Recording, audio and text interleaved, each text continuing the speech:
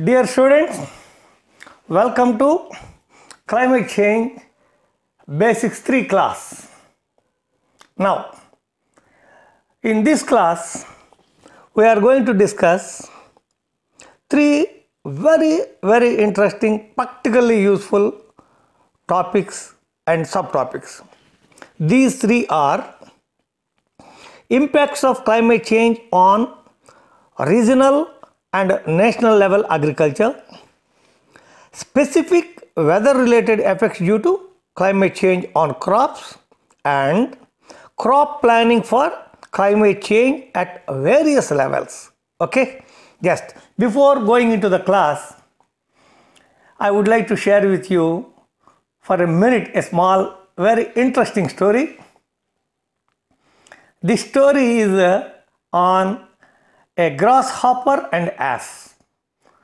An ass, having heard grasshoppers chirping, was highly enchanted and uh, desiring to possess the same charms of melody of grasshoppers chirping, it demanded what sort of food the grasshoppers lived on to give them such beautiful voices.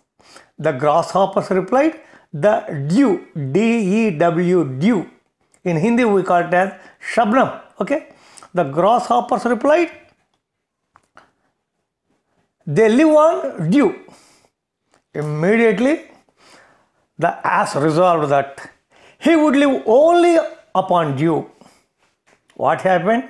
In a short time, the ass died of hunger. The inference is known to you. Thank you. Good. Now, so let's go into the class. So, the first subtopic of today's climate change basic 3 is impacts of climate change on regional and national level agriculture. Now, roughly 40% of the world population lives in tropics and agriculture is a very important sector in these tropics. Climate change has significant negative impact in the tropics.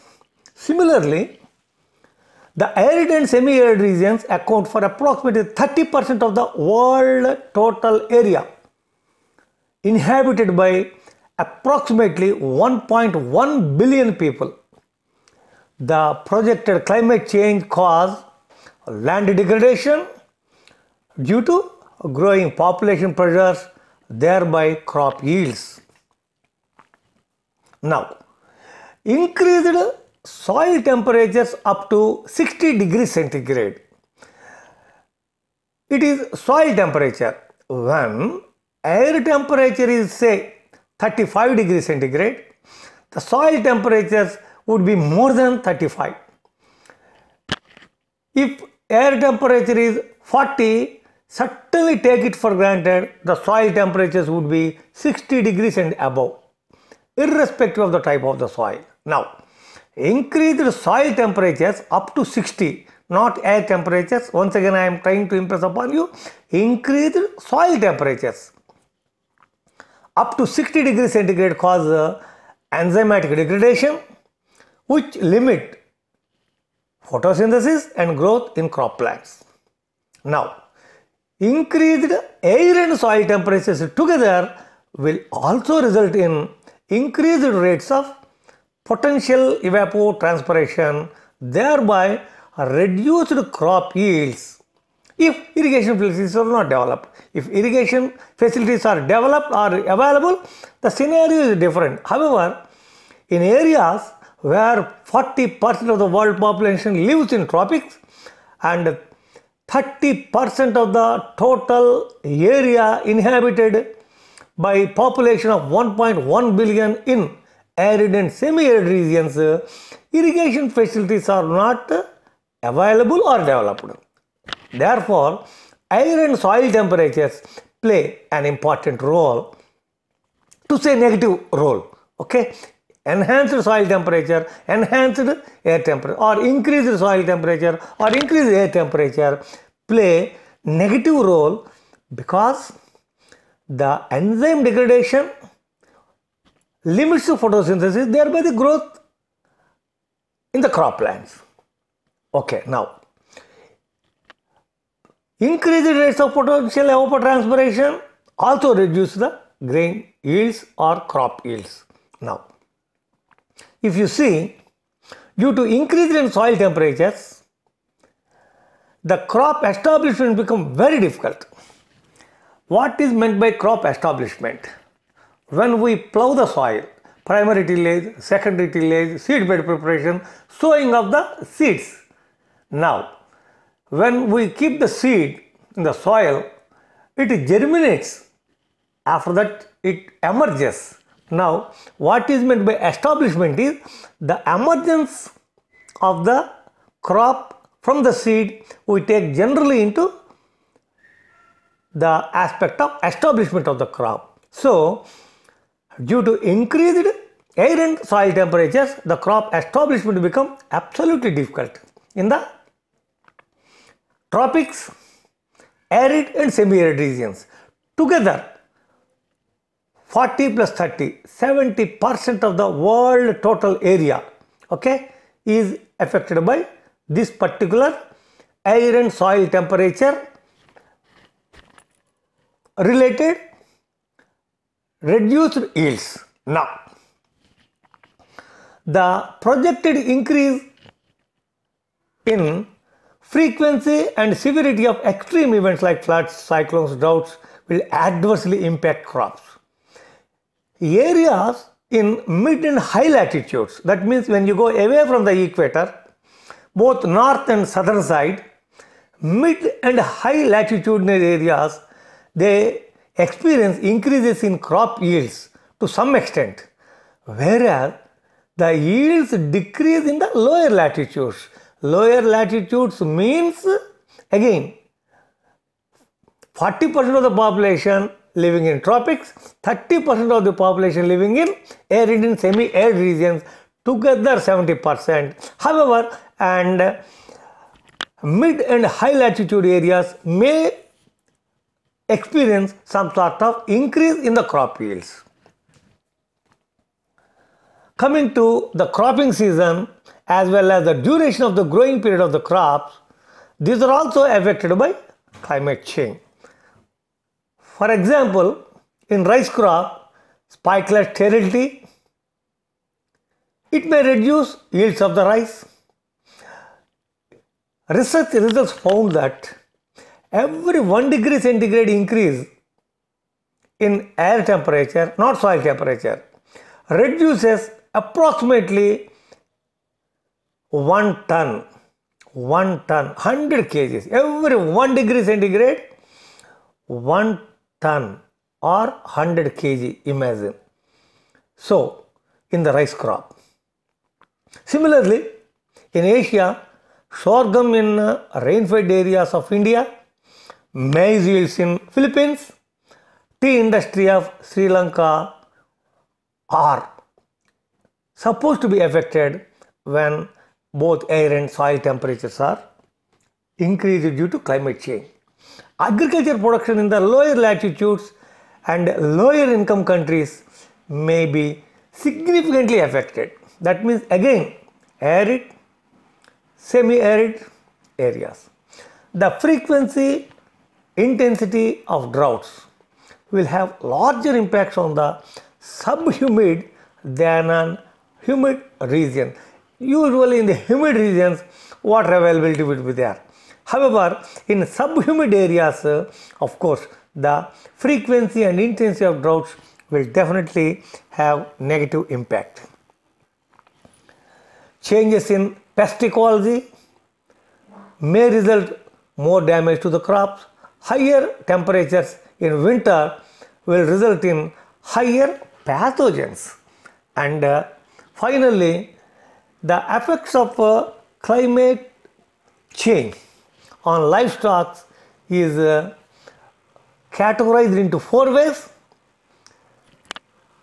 The availability of food grain, the price of food grain or feed grain, impacts on livestock pastures and forage crops, the direct effects of weather and extreme events on animal health, growth, and reproduction. Finally, changes in the distribution of livestock diseases. These four, once again, I would like to impress upon you not only on the crops in the arid, semi-arid regions, humid and subhumid regions, but also on the livestock, availability of food or feed, price of food or feed, impacts on livestock pastures and forage crops, direct effects of weather and climate extremes may cause negative impacts on the animal health, their growth and reproduction. Of course, finally, changes in the distribution of uh, livestock diseases. This is, uh, uh, in a nutshell, the impacts of climate change on regional and national level agriculture. Now, so let us go to another small subheading, very, very interesting specific weather related effects due to climate change. Specific weather related effects due to climate change. First one, impacts of climate change at the regional level, at the national level, general. Now, specifically let us go what are the specific weather related effects due to climate change. Just uh, to easily understand by you, I have divided uh, the specific weather related effects due to climate change into three. Number one, temperature effects. Two, water availability. Three, elevated CO2 effects. These three very interesting. All these three in one minute in a very simple way I will explain to you. Temperature effects. Rising nighttime temperature can lead to decrease in crop yields. How and why? During the daytime, the photosynthesis occurs in the croplands. Photosynthates are produced. If nighttime temperatures are moderate or less, the photosynthates utilization during the nighttime respiration is usually less. However, due to climate change, rising nighttime temperature certainly is leading to decrease in crop yields. Very interesting scientific phenomena is increasing daytime temperature is increasing the growing season length of the crop. Increasing daytime temperature is increasing the growing season length of the crop. For example, a crop has to be grown in an area. The duration of the crop is from sowing, germination, emergence, okay crop stand establishment to harvesting is 100 days. But due to increase in the daytime temperature the growing season length of the crop may be 110 to 120 days. So the farmer has to keep the money as input to maintain the crop the extra 10 or 20 days. See the negative impact of uh, temperature on climate change Next one is the water availability. The C4 crops require less water per gram of carbon assimilated than C3 crop.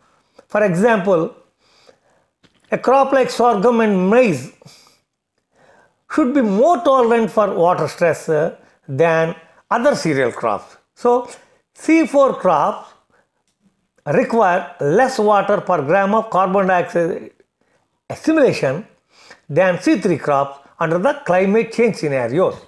So example crops are sorghum and maize. Now, enhanced or elevated CO2 effects. As I said in the lecture number 2 basics, the elevated atmospheric carbon dioxide, elevated atmospheric carbon monoxide, elevated or enhanced hydrofluorocarbons, perfluorocarbons, what not, nitrous oxide these are all having negative, negative impact on global warming. Now, how the elevated CO2 affects the crops? The elevated atmospheric CO2 usually will have a fertilization effect.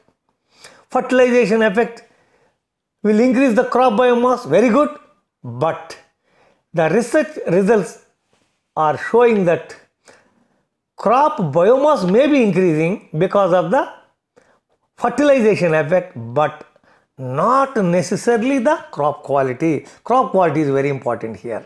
So, in an ideal condition, we can say that photosynthesis can increase 30 to 50 percent for C3 plants and by 10 to 25 percent for the C4 plants. So, these are the specific weather related effects due to climate change on the crop. Let us go to the third subtopic of the class today crop planning for climate change at various levels.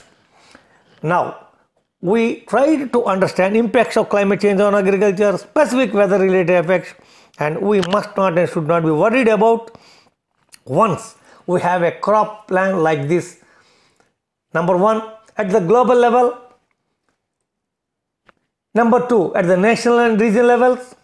Number three, local level. Number four, at the farm level. What are the plannings to counter or to mitigate or to adapt or to lessen the impacts of climate change are now at the global level shifting the centers of crop production. This is the best option. Uh, the second best option is uh, plant and animal breeding for heat and drought tolerance. These two aspects shall be addressed at the global level.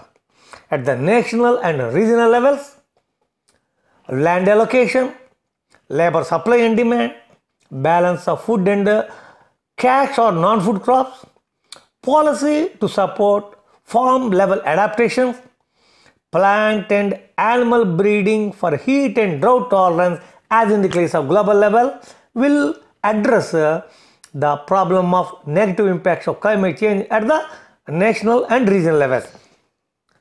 Coming to local level, type of farming, crop rotations, mixed cropping, balance of food and commercial crops like national and regional levels, and water management.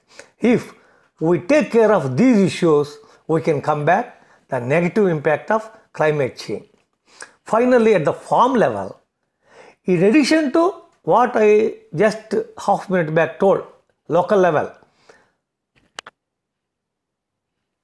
If we go for varietal selection, better animal breed, timing or sowing windows of a particular variety and water conservation, we can conserve our uh, things required for better yields of the crop. Now to sum up, in this class we tried to understand these three, the impacts of climate change on regional and national level on agriculture, specific weather related effects due to climate change on crops and finally crop planning for climate change at various levels. Now a, a request to all my beloved students that please do not forget to share the content with your friends and classmates just to share the knowledge. Also do like, comment and subscribe for more videos which are educative and informative. Thanking you. May God bless you.